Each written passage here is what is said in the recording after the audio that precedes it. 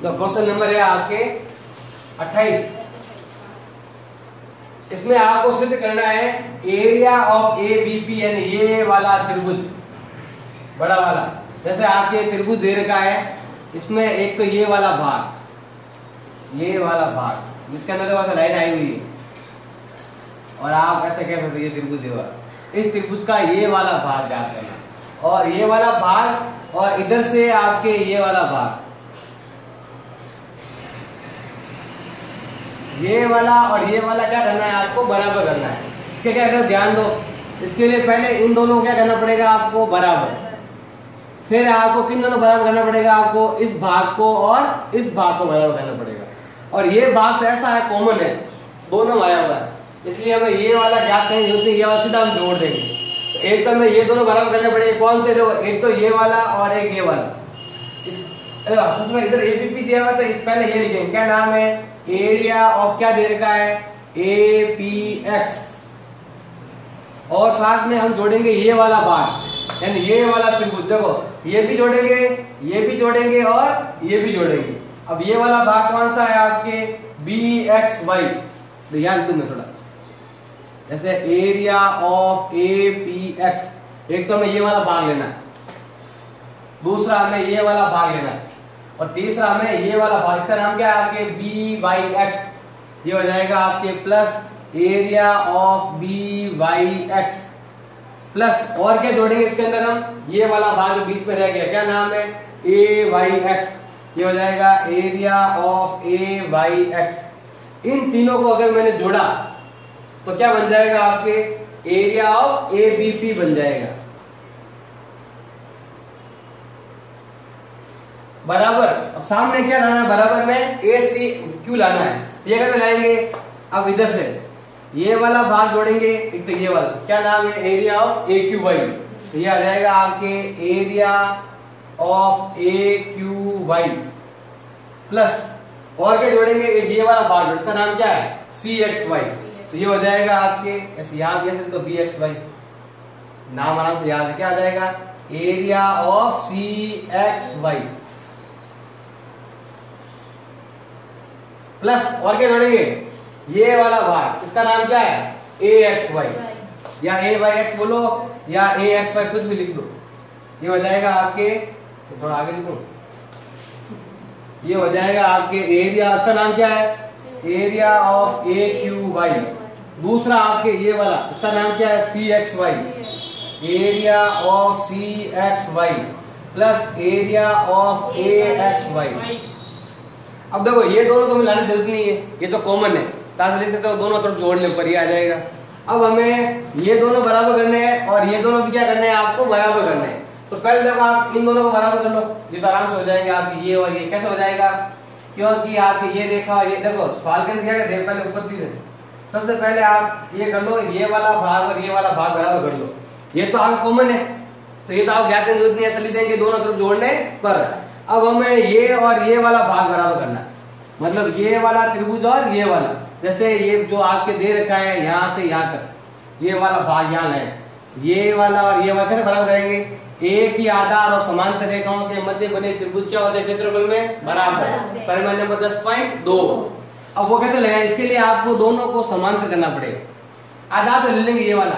इसी आधार पर ये त्रिभुज इसी आधार पर ये त्रिभुज। उल्टा देखकर इधर से आगे आधार ये है, इस पे आपके ये त्रिभुज बना इस पे आप ये बन रहा है तो ऐसा हम ज्ञात कर लेंगे। उसके लिए पहले समांतर करना पड़ेगा। हमारे पास क्या समांतर पर दे रखा, हमारे पास क्या दे रखा है? क्यू पी समांतर क्या है आपके? बीसी ये भुजा और ये भुजा समांतर हमारे पास ये दे रखा है। ये समांतर नहीं दे रखा है। लेकिन एक नियम है मध्य बिंदु प्रमेय का, कि अगर किसी त्रिभुज में दो बिंदु क्या हो मध्य बिंदु हो तो ये वाली भुजा, इसके क्या होती है? समांतर। हम क्या लिखेंगे? ये वाला त्रिभुज का नाम क्या बताओ? त्रिभुज ए, बी, सी, से। ये वाई क्या है? ए, बी का मध्य बिंदु वाई की तरफ़ सवाल दे रखा है। ए, बी और ए, सी का क्या दे रखा है? मध्य बिंदु दे रखा है। तो वाई क्या है आपके? ए, बी का मध्य बिंदु इधर एक्स है, इधर वाई है। सही है? ए सी और ए बी का। एक्स तो है ए सी भुजा का और ये है आपके ए बी भुजा का। ए बी का क्या हो गया आपके मध्य बिंदु दूसरा। एक्स क्या है आपके ए सी का मध्य बिंदु। एक्स हो जाएगा आपके ए सी का क्या कहलाएगा ये आपके मध्य बिंदु। इसका मतलब क्या हुआ? कि ये दोनों आपके बराबर है। और ये दोनों भी क्या है? बराबर है। दूसरा ये दो जब जब जब आपके मध्य बिंदु हो तो ये वाली भुजा क्या होती है? इसके समांतर भी होती है और इसकी आधी भी होती है। तो लिखेंगे ये भुजा और ये भुजा क्या हो गई आपके समांतर। तो ये हो जाएगा बी सी समांतर क्या है आपके? ये हो गए समांतर।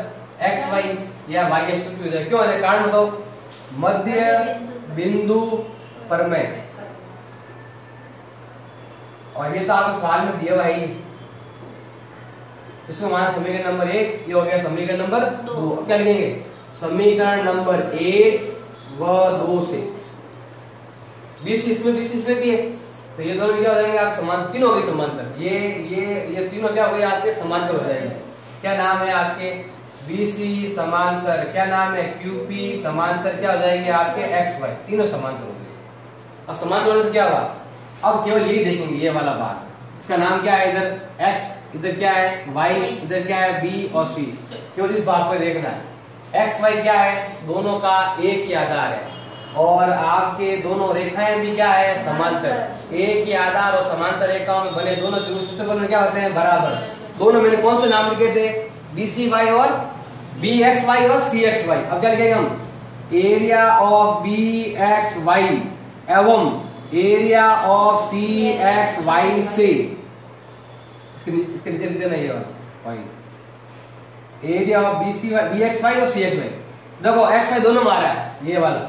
ये आधार इस त्रिभुज में भी है ये आधार इस त्रिभुज में। आप चाहो तो इधर से भी ले सकते हो और चाहो तो इधर से भी लो एक ही है दोनों में कोई फ़र्क नहीं है आपको। तो देखो ये वाला भाग और ये वाला भाग क्या हो जाएगा आपके बराबर। कारण एक्स वाई का क्या हो गया आपके?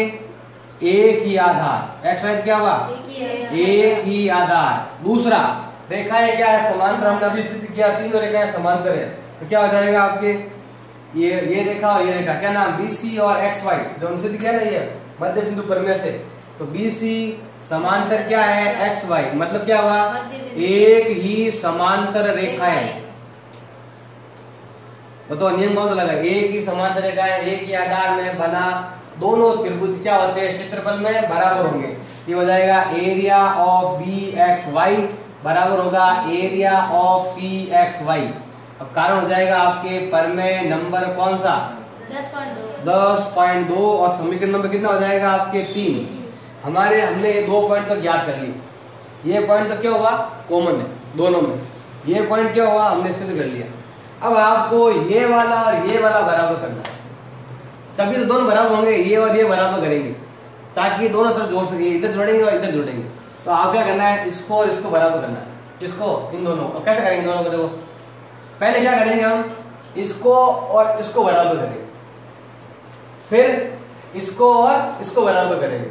फिर इन दोनों को बराबर करेंगे। फिर तीनों को देखो, ध्यान पहले देखो, पहले ध्यान लगाना सही है आपको देना एक बार। ये ऐसा दे रखा है आपके। ये दे- दे त्रिभुज आपके। पहले ये वाला ये वाला भाग। आपको देखो एक बार। ये वाला भाग क्या नाम है इसका? एपीएक्स और ये वाला क्या है आपके बीसीएक्स क्या लेंगे हम? एरिया ऑफ़ एपीएक्स एरिया नहीं इसके हम लिखेंगे त्रिभुज ए पी एक्स व त्रिभुज कौन सा हो गया आपकी ये वाला? बीसीएक्स तीन चीज़ें बराबर करनी है कितनी बराबर करनी तीन चीज़ें। तीन। कौन सी देखो इस त्रिभुज की ये भुजा और इस त्रिभुज की ये भुजा क्या है? बराबर। ए एक्स तो इस त्रिभुज में आ रहा है। और सी एक्स इस त्रिभुज में आ रहा है तो ये दोनों क्या है आपके? बराबर। ए एक्स बराबर क्या हो गया? ए एक्स बराबर हो गया है आपके सी एक्स कारण क्या है आपके? क्योंकि एक्स ए सी भुजा का मध्य बिंदु है। ये हो जाएगा आपके एक्स ए सी का क्या कहलाएगा आपके? मध्य बिंदु। नंबर दो। नंबर दो बताओ, कौन सा बराबर है? ये वाला कोण और ये वाला कोण। कोण नंबर एक बराबर है कोण नंबर? क्योंकि रेखा समांतर मैंने तीनों बताया था बीसी समांतर क्यूपी समांतर एक्स वैसे सवाल में लिखा गया क्यूपी समांतर क्या है? बीसी ये तो रेखा समांतर है। तो ये कोण और ये कोण क्या होगा आपके? बराबर। कोण नंबर एक बराबर होगा कोण नंबर दो? कारण क्या हो जाएगा आपके? एकांतर कोण। ये हो जाएगा आपके एकांतर कोण। और दूसरा नियम एकांत कोण भी हो, और ये क्या होगी इसकी? बीपी जो रेखा है, वो क्या होगी इसकी? आपके तिरक रेखा हो जाएगी। क्या हो जाएगी? ये रेखा है समांतर और ये होगी तिरक रेखा। अब ऐसे देखो आपके इसी प्रकार इधर से कोण नंबर तीन बराबर ये हो जाएगा आपके कोण नंबर चार। हम ये त्रिभुज ले रहे हैं और इधर ये त्रिभुज ले रहे हैं। आकृति नाम होनी चाहिए कि ये वाला त्रिभुज है और एक ये वाला त्रिभुज है। अब बताओ ये और तीन और चार भी क्या हो गए आपके? बराबर। कारण क्या है आपके? वही एकांतर कोण जिसके अंदर लिखा हुआ है कि आपके क्यू की समांतर क्या है आपके बीसी अब फ़र्क यही है इसमें आपकी त्रिक रेखा ये है। और इसमें त्रिक कौन कौन सी आपके ए सी भुजा बस त्रिक रेखा चेंज है बाकी कोण आपके बराबर हो? जाएँगे तो, तो नियम कौन सा लगा?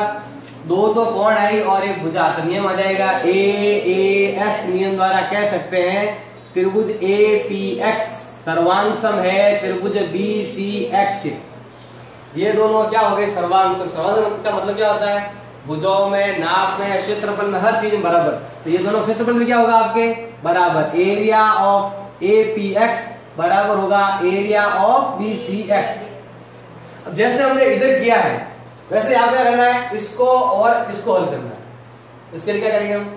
क्या लिखेंगे सीधे ही? इसी प्रकार। इसी प्रकार ये दोनों भी क्या है आपके? बराबर। क्या लिखोगे? इसी प्रकार।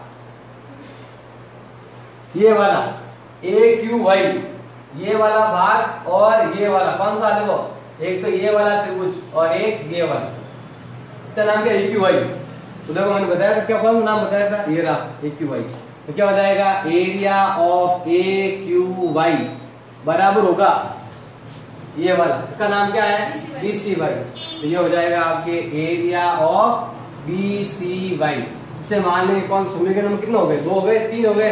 अब क्या लिखेंगे? समीकरण नंबर चार और समीकरण नंबर कितना हो गया आपके पाँच। अभी इसमें कोई चीज़ कॉमन नहीं तो अभी कुछ भी बराबर नहीं हुआ।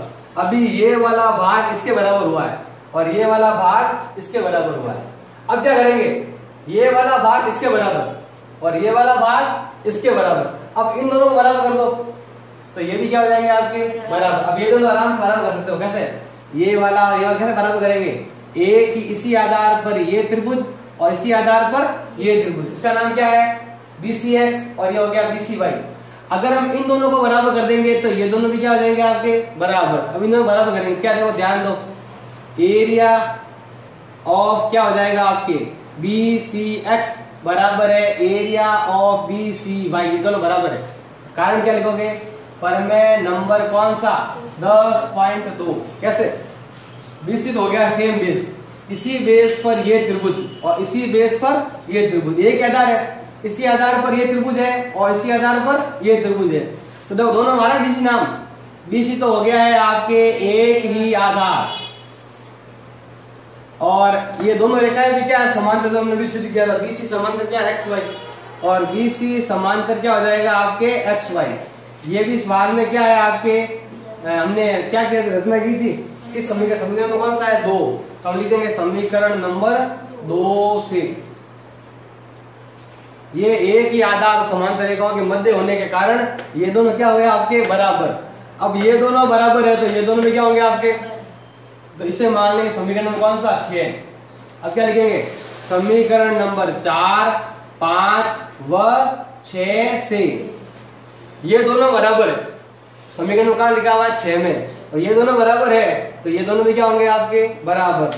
तो, तो क्या हो जाएगा? Area of A P X बराबर होगा area of A Q Y अब ये वाला समीकरण नंबर तीन और ये वाला और ये भाग जो कॉमन जो सब में आ रहा है ये वाला भाग इसमें भी आ रहा है और ये वाला भाग इसमें भी आ रहा। है तीनों को जोड़ क्या लिखेंगे देखो?